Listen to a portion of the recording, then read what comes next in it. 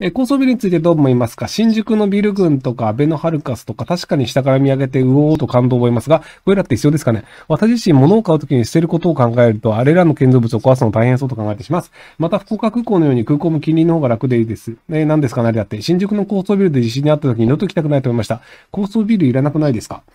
えっと、その、福岡空港のようにっていうので、あの、便利な場所に多くの施設がいっぱいあった方がいいよねってなると、その、平屋だと人ってそんなに入れないじゃないですか。なので、50階建てにすると、そこでオフィスだったり、レストランだったりっていうのがいっぱい建てれるってことがあって、なので、あの、狭い場所に多くの設備とか人とかを入れたいのであれば、結局高さを高くしなきゃいけないっていうのが、あの、至極当然な話なので、なので、福岡が便利って言っちゃってる時点で、高層ビル便利っていうのも理解されちゃってるので、なんか高層ビルがいらないというにはちょっと論理的に難しいんじゃないかなと思いました。